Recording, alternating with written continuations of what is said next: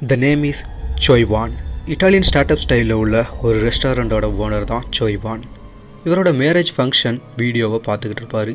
ஆறு வருடங்களுக்கு முன்னாடி நடந்த மேரேஜ் ஃபங்க்ஷனோட வீடியோவை பார்க்குறதுக்கான சூழ்நிலை இப்போ என்ன இவருக்கு இந்த டைமில் ஏன் வீடியோ பார்க்கக்கூடாதா அப்படின்னு கண்டினியூ அவர் வீடியோ பார்த்துக்கிட்டு இருந்தா.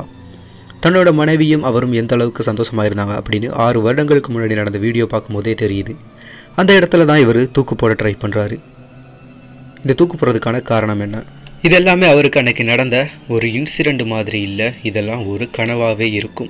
ஸோ நீங்கள் பார்த்துக்கிட்டு இருக்கிறது my dangerous wife Korean drama தான். இந்த ட்ராமா ஒரு ஜாப்பனீஸ் ட்ராமா டூ தௌசண்ட் சிக்ஸ்டீனில் ரிலீஸ் ஆயிருக்கும். அதுலேருந்து அடாப்ட் பண்ணி வந்த ட்ராமா தான் இந்த ட்ராமா இந்த ட்ராமாவோட ஃபர்ஸ்ட் எபிசோட தான் இந்த வீடியோவில் பார்க்க போகிறோம் ஸோ கதையை கண்டினியூவாக பார்க்கலாம். அந்த சீனுக்கு அப்புறம் தானும் தன்னோட மனைவியும் டைனிங் டேபிளில் உட்காந்து அன்னைக்கு காலையில் பிரேக்ஃபாஸ்ட் சாப்பிட்டுக்கிட்டு இருப்பாங்க. அந்த இடத்துல தன்னோட மனைவி தன்னோட கைகளில் உள்ள நகத்தை காட்டுவாங்க தன்னோட கணவன்கிட்ட. ஸோ அதுக்கான காரணங்கள் இருக்குது அதுக்கப்புறம் அங்கே இருந்த கபோர்டில் இருக்கிற ஷூஸ் எல்லாம் டெய்லி அரேஞ்ச் பண்ணி வச்சுருப்பாங்க தன்னோட ஒய்ஃபு ஒவ்வொரு செகண்டும் எந்த அளவுக்கு கேர் பண்ணி நீட்டாக டிசிப்ளினாக நடந்துக்கணுமோ அந்த அளவுக்கு சூப்பராக அவனை கவனிச்சுக்கிருவாங்க. ஸோ அங்கேருந்து அன்றைக்கி அவங்க எந்த ஷூவை போட்டு போகணும் அப்படின்னு முடிவு பண்ணி அதை எடுத்து கொண்டு வந்து கொடுத்ததுக்கப்புறம் ஒரு ஹக் பண்ணி கிஸ் கொடுத்துட்டு அவனும் அங்கேருந்து கிளம்புவான். பக்கத்து வீட்டில் இருக்கிற நெய்பர்ஸும் இவங்கள பார்த்து மீட் பண்ணி காலையில் குட் மார்னிங் சொல்லுவாங்க. சரிடா அப்படின்ட்டு அவன் அங்கேருந்து கிளம்பி தன்னோட காரில் ஏறினதுக்கப்புறம் தான் அப்போ தான் நமக்கு புரியும். தன்னோட ஒய்ஃபை டச் பண்ணால் அவனுக்கு வந்து ஒரு அலர்ஜி மாதிரி வரும். ஸோ அதுதான் அவனுக்கு மிகப்பெரிய பிரச்சனையாக இருக்கும். அதுக்காக ஒரு மெடிசனும் எடுத்துக்கிட்டு இருப்பான்.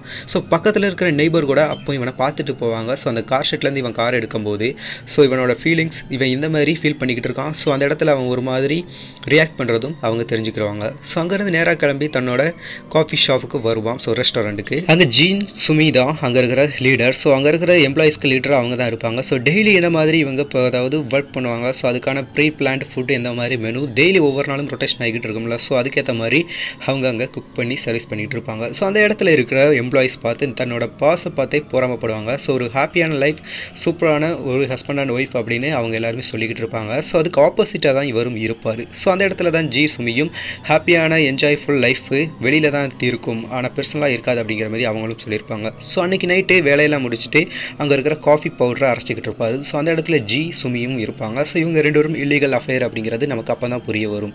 ஸோ அந்த சீனுக்கு அப்புறம் ஜி சுமி சொல்லியிருப்பாங்க இந்த மாதிரி உன்னோட ஒய்ஃபோட வாழ விருப்பம் இல்லைனா அவளை கொலை பண்ணிடலாம் அப்படின்னு. அதுக்காக ஏடிஎக்ஸ்டிங்கிற ஒரு மருந்து இருக்கும். அந்த மருந்தை நீ ஒயின் பாட்டிலில் மிக்ஸ் பண்ணி கொடுத்துரு. அந்த பாட்டிலில் கொடுத்தா கண்டிப்பாக சீக்கிரமாகவே ஒரு மாதிரி டயரியா வாமிட் இந்த மாதிரி பிரச்சனை வந்து சீக்கிரமாகவே இறந்து போயிடுவா அது ஒரு ஸ்லோ பாய்சன் அப்படின்னு சொல்லி அவனை செய்ய சொல்லியிருப்பான் இந்த நேரத்தில் தான் சோய்வோனோட ஒய்ஃபான ஷின்ஜயை காட்டுவாங்க. ஸோ ரெண்டு கப்பில் காஃபியை ப்ரிப்பேர் பண்ணுற மாதிரி ஒரு சீன் காட்டுவாங்க. பட் இந்த சீன் எதுக்காக அப்படின்னு பார்த்தீங்கன்னா இதுக்கான காரணங்கள் பின்னாடியே இருக்குது ஸோ இந்த டைமில் தான் அவனும் அந்த ஏடிஎக்ஸ்டி அப்படிங்கிற மருந்தை பற்றி தெரிஞ்சுக்கிட்டு ஸோ இப்படி பண்ண நம்மளை கண்டுபிடிச்சிட மாட்டாங்களா? ஸோ அது ஒரு ஸ்லோ பாய்ஷன் கண்டுபிடிக்கிறதுக்கு ரொம்ப ரொம்ப டிலே ஆகும் அப்படின்னு அங்கே ஜின்சன் சொல்லியிருப்பான் ஸோ அதுக்காக இவனும் அதை ஓகே நான் பண்ணுறேன் அப்படின்னு சொல்லியிருப்பான். ஸோ அதை சொன்னதை கேட்டுட்டு அங்கேருந்து நேராக கிளம்பி கடையில் போய் ஒரு ஒயின் பாட்டில் வாங்குவான். அந்த ஒயின் பாட்டிலில் அந்த மருந்தையும் இன்ஜெக்ட் பண்ணுவான். ஆறு வருடங்களுக்கு முன்னாடி தன்னோட மேரேஜ் முடிச்சிருந்தாலும் தன்னோட ஒய்ஃபோட சந்தோஷமாக இல்லை அப்படிங்கிறத அப்போ தான் நமக்கு இந்த சீனில் சொல்லுவாங்க. ஸோ அதனால் இவளை மீட் பண்ணியிருந்தா கண்டிப்பாக அவளை கல்யாணம் முடிச்சிருக்க மாட்டேன் அப்படிங்கிற மாதிரி அவன் ஃபீல் பண்ணியிருப்பான். ஸோ அதனால் இந்த டைமில் பார்த்தீங்கன்னா எப்படியாவது வேற ஒரு இடத்துல நம்ம போய் வாழலாம் அப்படின்னு தன்னோட காதலிக்கிட்ட அவன் சொல்லியிருப்பான். ஸோ அதுக்காக தான் இந்த மாதிரி முடிவெடுத்திருப்பான். அந்த ஒயினை கொடுத்து தன்னோட மனைவியை கொலை பண்ணிடலாம்னு. ஸோ அந்த கொலையை பண்ணுறதுக்கு காரணமாக இருக்கிறதே ஜின் சுமி தான். ஸோ இந்த இடத்துல இவன் பண்ணுவானா? பண்ண மாட்டானா? ஸோ அந்த வைன் பாட்டில் வாங்கிட்டு நேராக வீட்டுக்கு கிளம்பி போகிறான் அந்த ஒயின் பாட்டில் வாங்கிட்டு வீட்டுக்கு கிளம்பி போனால் அந்த இடத்துல தன்னோட ஒய்ஃபும் அந்த இடத்துல இருக்க மாட்டான் ஸோ அந்த இடத்துல அவள் இல்லாமல் போனதுக்கு காரணம் என்ன? என்ன ஆச்சு? ஸோ நெக்ஸ்ட் இந்த ஒயின் பாட்டில் வாங்கிட்டு போனதுனால இவனை பிடிச்சிருவாங்களா போலீஸ் ஸோ நெக்ஸ்ட் டே அவள் காணாமல் போனதுக்கான காரணம் என்ன? அது மட்டும் இல்லாமல் அங்கே இன்வெஸ்டிகேஷனுக்கு வந்த ஆஃபீஸர் நெக்ஸ்ட் என்ன மாரி ஆக்ஷன் எடுத்தாங்க? ஸோ ஜின்சுமியும் இதில் காரணமாக இருக்கா? அவளை கண்டுபிடிச்சாங்களா? இல்லையா? அப்படிங்கிறதெல்லாம் இந்த கதையில் நெக்ஸ்ட் கொடுத்துருப்பாங்க. ஒயின் பாட்டில் வாங்கிட்டு நேராக வீட்டோட என்ட்ரன்ஸ் கேட்டுக்கு போவான். சோய். கேட்டு ஓப்பனில் இருக்கும். ஆனால் வீட்டுக்கு முன்னாடி சஸ்பீசியஸாக ஒருத்தன் அந்த வழியாக போகிற மாதிரி இருக்கும். ஸோ அவன் வந்து காரில் போகும்போது பார்க்கும்போது இவனுக்கு ஒரு சந்தேகம் வரும். சரிடா அப்படின்ட்டு வீட்டுக்குள்ளே என்றானா.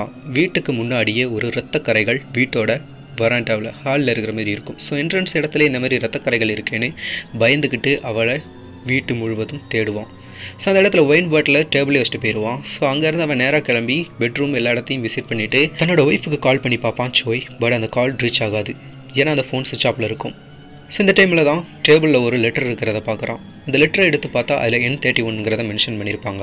அந்த லெட்டரை ஓப்பன் பண்ணி பார்த்தா ஃபைவ் பில்லியன் உன்னோட ஒய்ஃப் அக்கௌண்ட்டில் இருக்குது அது எனக்கு வேணும் அப்படிங்கிற மாதிரி எழுதியிருப்பாங்க. அது மட்டும் இல்லாமல் இந்த டைமில் நீ இன்வெஸ்டிகேஷன் ஆஃபீஸருக்கு கால் பண்ணணும்னு. அந்த இடத்துக்கு தான் இன்வெஸ்டிகேஷன் ஆஃபீஸர் சிஓஜியும் வருவார். ஸோ டிடெக்டிவ் என்ன மாதிரி நெக்ஸ்ட் ஆக்ஷன் எடுத்தார்? அந்த இடத்துலேருந்து வீட்டுக்குள்ளே பார்த்தா அந்த ரத்தம் சிந்தினதுலேருந்து அது மட்டும் இல்லாமல் அவனோட பெட்ரூம் வர எல்லா இடத்துலையுமே சந்தேகம் படும்படி என்னென்ன ஆக்ஷன் நடந்திருக்கு அப்படின்னு அலசி ஆராய்வாங்க. கிச்சன் முதற்கொண்டு. கிச்சனில் ரெண்டு கப் இருந்திருக்கும். அந்த ரெண்டு கப்பில் ஒரு கப் கொக்கோ மிக்ஸ் பண்ண மாதிரி இருக்கும். ஸோ உங்களுக்கு கொக்கோ குடிக்கிற ஹேபிட் இருக்கா அப்படிங்கிற மாதிரி கேட்டிருப்பாங்க. ஸோ இன்றைக்கி மார்னிங் நான் காஃபி தான் குடிச்சிட்டு போனேன் கொக்கோ இல்லை அப்படின்னு. அவனோட ஒய்ஃப் அக்கௌண்ட்டில் ஃபைவ் பில்லியன் இருக்குது அப்படிங்கிறதையும் சந்தேகப்படும்படி தான் இருக்கும். ஸோ ஒருவேளை இவன் தான் தன்னோட ஒய்ஃபை கடத்தி வச்சுக்கிட்டு தன்னோட ஒய்ஃபோட அக்கௌண்ட்டில் இருந்து பணத்தை எடுக்க போகிறானா அதே மாதிரி இன்றைக்கி மார்னிங் பார்த்த இவன் ஈவினிங் தான் இப்போ வீட்டுக்கு வரான். ஒயின் வேறு வாங்கிட்டு வந்திருப்பான். ஒயின் பாட்டில் எதுக்காக அப்படின்னா தன்னோட ஒய்ஃபோட என்ஜாய் பண்ணி அதை ட்ரிங்க் பண்ணுறது தான் வாங்கிட்டு வந்தேன்னு சொல்லியிருப்பான். ஸோ அந்த இடத்துல சந்தேகம் படும்படி அந்த இன்சிடெண்ட்லாம் இருந்தாலும் அந்த ஒயின் பாட்டிலில் என்ன மிக்ஸ் பண்ணியிருக்கான் அப்படிங்கிறது நமக்கு மட்டும்தான் தெரியும். ஸோ அந்த இடத்துல அவனை கேட்ச் பண்ணுவாங்களா அவன் பண்ண மாட்டாங்களான்னு நம்மளும் யோசிச்சுக்கிட்டு இருப்போம்.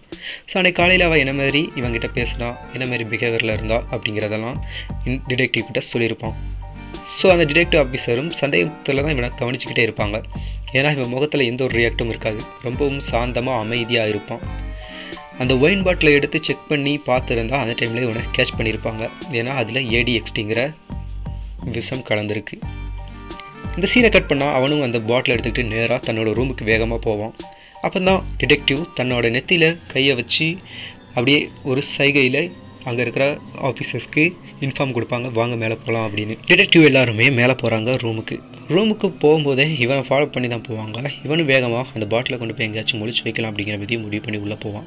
அந்த இடத்துல பார்த்தா பெட்டெல்லாம் ரொம்ப ரொம்ப நீட்டாக க்ளீனாக இருக்கும்.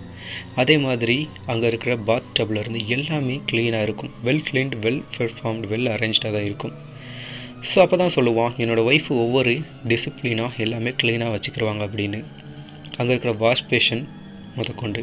ஸோ அவங்களோட டெய்லி ஹேபிட் வந்து மார்னிங் வந்து யோகாலாம் பண்ணுவாங்க இந்த மாதிரிலாம் சொல்லியிருப்பான் ஸோ அது மட்டும் இல்லாமல் பக்கத்து வீட்டில் இருக்கிறவங்க கூட நல்லா சூப்பராக தான் பிஹேவியரில் எப்போவுமே ஜாலியாக பேசி சிரித்து பேசிக்கிட்டு இருக்கிறவா தான் அப்படின்னு சொல்லியிருப்பான் ஸோ இதெல்லாம் கேட்டதுக்கப்புறம் டிடெக்டிவ் அங்கேருந்து கிளம்பலான்னு முடிவு பண்ணுறாரு நாளைக்கு மார்னிங் வரேன்னு சொல்லிட்டு அங்கேருந்து கிளம்புவாங்க.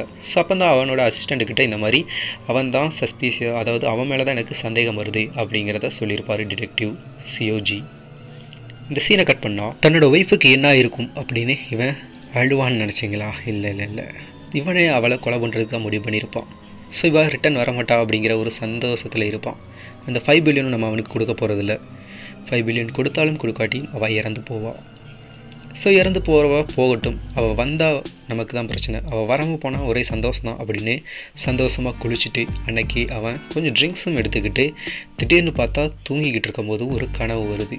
அந்த இரவு டைமில் இவன் தான் அவன் ஒய்ஃபை அங்கேருந்து கிட்னாப் பண்ண மாதிரி அந்த கனவுலேருந்து முடிச்சு பார்த்தா அது கனவு தான் ஆமாம் பெட்டில் படுத்திருப்பான். ஸோ அன்றைக்கி நைட்டு குடித்த ட்ரிங்க்ஸில் ஓரளவுக்கு போதையாகி படுத்திருப்பான் திடீர்னு பார்த்தா அங்கே வந்து டிடெக்டிவ் தான் இவனை எழுப்பி விட்ருப்பாரு ஸோ அங்கே இருக்கிற டேபிளில் இருக்கிற அந்த ஸ்நாக்ஸும் ட்ரிங்க்ஸும் பார்த்தோன்னே இன்னும் சந்தேகம் அதிகமாகும்.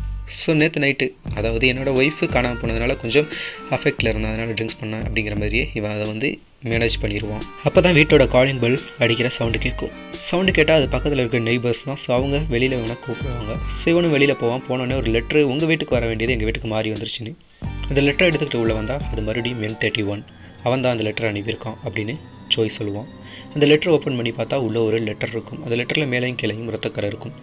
நான் சொன்ன மாதிரி நீ டிடெக்டிவாக கூப்பிட்டுட்ட. ஸோ நெக்ஸ்ட்டு வந்து அந்த ஃபைவ் பில்லியன் தான் அப்படிங்கிற மாதிரி எழுதியிருப்பான். ஸோ அது மட்டும் இல்லாமல் அந்த கவருக்குள்ளே ஒரு நெகம் இருக்கும். அந்த நெகத்தை எடுத்து வெளியில் பார்த்தா இது தன்னோட ஒய்ஃபோட நெகம் தான் அப்படிங்கிறத அவன் அங்கே சொல்லியிருப்பான். அப்போ நெகத்தை பிச்சு எடுத்துட்டாங்க தன்னோட ஒய்ஃபோட கையிலேருந்து அப்படின்னு டிடெக்டிவ் கிட்ட அவன் சொல்லியிருப்பான். ஸோ என்னதான் நடக்கு யார் இதை பண்ணிக்கிட்டு இருக்காங்க? இவன் அந்த இடத்துல ரியாக்ட் பண்ணதை டிடெக்டிவும் கூர்ந்து கவனிப்பார். இந்த சீனை கட் பண்ணால் நேராக ரெஸ்டாரண்ட் போகணும் அப்படின்னு டிடெக்டிவ் கிட்ட சாய்ஸ் சொல்லியிருப்பான். ஃபாரன்சிக் டிபார்ட்மெண்ட் சைட்லேருந்து அங்கே வந்து தடயங்களை தேடிக்கிட்டு இருப்பாங்க. ஸோ அதெல்லாம் முடிஞ்சதுக்கப்புறம் உங்களை கண்டிப்பாக கூட்டிகிட்டு போகிறோம் அப்படிங்கிற மாதிரி டிடெக்டிவ் சொல்லியிருப்பார். இப்போ தான் அந்த வீட்டோட நெய்பராக இருக்கிற ஒருத்தி அந்த வீட்டை கூர்ந்து கவனிச்சிக்கிட்டு இருப்பாள் ஸோ வெளியில் வந்த டிடெக்டிவ் அவங்கள பார்ப்பான். பார்த்தோன்னே அவங்கக்கிட்ட போய் கேட்பாங்க நீங்கள் இந்த வீட்டை பற்றி என்ன நினைக்கிங்க உங்களுக்கு ஏதாச்சும் தெரியுமா? அப்படின்னு. ஸோ அதை பற்றி நீங்கள் என்கிட்ட கேட்காம இருக்கதா நல்லது அப்படிங்கிற மாதிரி அவங்க ரியாக்ட் பண்ணிவிட்டு இல்லாட்டி என்னை ரொம்ப ஹர்ட் பண்ணுற மாதிரி நீங்கள் பேசுகிற மாதிரி இருக்குது அப்படிங்கிற மாதிரியே சொல்லிவிட்டு அங்கேருந்து அவங்களும் கிளம்புவாங்க.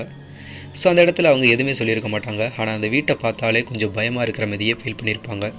ஸோ அந்த வீட்டில் ஏதோ ஒன்று இருக்குது அப்படிங்கிற மாதிரியே அவங்க ரியாக்ஷன் இருந்திருக்கும். ஸோ அவங்க முகத்தில் அதாவது சோயோட ஒய்ஃபோட முகத்தில் இருந்த ஆனந்தம் அவங்க வீட்டுக்குள்ளே இல்லை அப்படிங்கிறது மட்டும் தெரிய வருது. அப்போ தான் அங்கேருந்து டிடெக்டிவும் கிளம்புறாரு.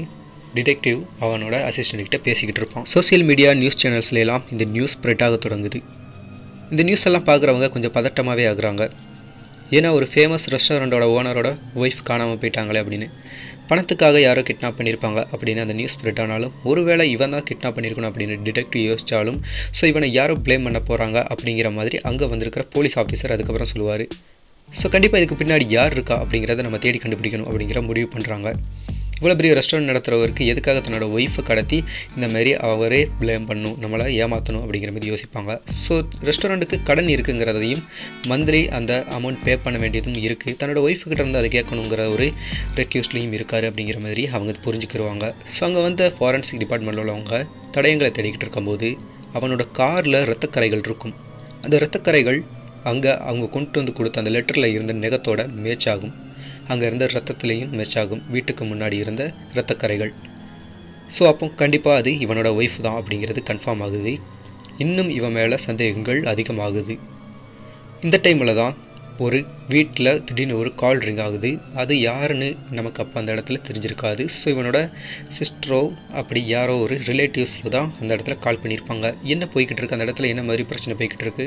அப்படின்னு அவங்களோட கடையை க்ளோஸ் பண்ணிவிட்டு இவனோட டிஸ்கஸ் பண்ணிக்கிட்டு இருப்பாங்க. ஸோ இந்த பிரச்சனையை பற்றி நானே என்னங்கிறத பார்த்துட்டு சால்வ் பண்ணுறேன் அப்படின்னு இவனும் சொல்லியிருப்பான். ஸோ ரிலாக்ஸாக பெட்டில் படுத்திருப்பான். அதுக்கப்புறம் தன்னோட ரெஸ்டாரண்ட்டுக்கு போகணுங்கிறதையும் முடிவு பண்ணியிருப்பான். ஜோயோட காரை வந்து ஃபுல்லாக அனலைஸ் பண்ணிகிட்டு இருப்பாங்க செக் பண்ணிகிட்டு இருப்பாங்க. இந்த இடத்துல பார்த்தா சிஏஜியோட அசிஸ்டன்ட் வந்து சொல்லிக்கிட்டு இருப்பான் இந்த மாதிரி சிம்ஜை வந்து அவங்க அப்பா கிட்ட அதாவது அவங்க அப்பா வந்து மிகப்பெரிய பணக்காரன் எஸ்டேட்லாம் இருக்குது ஸோ அதுலேருந்து ஒரு ஃபைவ் பில்லியன் கிடச்சிருக்கும். அந்த ஃபைவ் பில்லியன் வந்து இப்படியாவது ஆட்டை போடுறது தான் இந்த மாதிரி பிளான் பண்ணிக்கிட்டு இருப்பான் அப்படிங்கிற மாதிரி சொல்கிற மாதிரி இருக்கும். பட் அந்த ஃபைவ் பில்லியனை வந்து ஒரு சேரிட்டிக்கு டொனேட் பண்ணிட்டாங்க. தேவையில்லாமல் இதுக்கு இப்போ இந்த மாதிரி கதையெல்லாம் சொல்லிக்கிட்டு இருக்கா அப்படின்னு அவனோட அசிஸ்டன்ட் டென்ஷன் ஆவான். அப்போ தான் சொல்லுவான் டென் பில்லியன் இவனுக்கு கிடச்சிருக்கு. அதில் தான் இதை ஸ்டார்ட் பண்ணியிருக்கான். அது எங்கேருந்து வந்துச்சு என்னன்னு தெரில மந்த்லி இன்ட்ரெஸ்ட் வேறு அடைக்க வேண்டியது இருக்கும். ஸோ இதெல்லாம் பற்றி நம்ம இன்வெஸ்டிகேஷன் பண்ணலாம். சரி ஒரு- ஒருவேளை இவனோட ரெஸ்டாரண்ட்டுக்கு இன்வெஸ்ட்மெண்ட் வர்றதுக்காக கூட இவன் இந்த மாதிரி பப்ளிசிட்டி பண்ணலாம் அப்படிங்கிற மாதிரி அவங்க யோசிச்சிருப்பாங்க. ஸோ வெளியில் வந்தோடனே அங்கே இருக்கிற மீடியாஸ் எல்லாம் இவங்ககிட்ட கொஸ்டின்ஸ் கேட்கும்போது இதுக்கான பதில் சீக்கிரமாக கிடைக்கும். யார் கடத்துனாங்க என்னங்கிறது ஒன்றும் கிளியராக தெரியல அப்படின்ட்டு ரெஸ்டாரண்ட்டுக்கு வந்திருப்பான். வந்த உடனே அங்கே பார்த்தா இவனோட அசிஸ்டண்டான ஜின் சுமியும் இருப்பா. ஸோ அவகிட்ட பேசிட்டு அன்னைக்கான ஃபுட்டான பிளான் என்னெல்லாம் இருக்குது அப்படிங்கிறத பற்றியெல்லாம் பேசியிருப்பாங்க. ஸோ அன்றைக்கான ஃபுட்டோட பிளான்ஸ் எல்லாம் எடுத்து அவங்க நீட்டாக க்ளீனாக பண்ணிக்கிட்டு இருப்பாங்க. எந்த ஒரு பயமும் பதட்டமும் இல்லாத மாதிரி தான் அவனோட ஃபேஸ் இருக்கும். ஸோ அப்போ தான் அங்கே உள்ள ஃபேமஸான ஃபுட்டையும் கொண்டு வந்து கொடுப்பாங்க. இட்டாலி ஸ்டைல் ஃபுட்டு தானே. ஸோ சாப்பிட்டுக்கிட்டு இருப்பாங்க ரெண்டு பேரும். சாப்பிட்ற நேரம் எவ்வளோ நேரம் சாப்பிட்டுக்கிட்டு இருக்கோம் அப்படிங்கிறதையும் கவனிச்சிக்கிட்டு இருப்பாங்க. இவனோட ரெஸ்டாரண்ட்டோட செகண்ட் ஃப்ளோருக்கு மேலே போவான். ஸோ செகண்ட் ஃப்ளோர் ஃபஸ்ட் ஃப்ளோருக்கு போவான். போன இடத்துல பார்த்தா தன்னோட அசிஸ்டண்ட் கூட செடியூஸ் பண்ணுற மாதிரி ஒரு சீன் வச்சுருப்பாங்க. ஸோ அந்த இடத்துல தான் நீ தானே எல்லாம் பண்ண எனக்கு தெரியும் அப்படிங்கிற மாதிரி அவளும் பேசியிருப்பாள் நான் எதுவுமே பண்ணல. அது எப்படி நடந்துச்சுன்னே தெரில ஆனால் அவள் போனது சந்தோஷம் தான் அப்படிங்கிற மாதிரி பேசிக்கிட்டு இவங்க ட்ரிங்க்ஸ் பண்ணியிருப்பாங்க அந்த இடத்துல. ஸோ அப்போ தான் டிடெக்டிவ் யோசிப்பார். இவன் போய் மேலே போய் எவ்வளோ நேரம் ஆச்சு அப்படின்னு.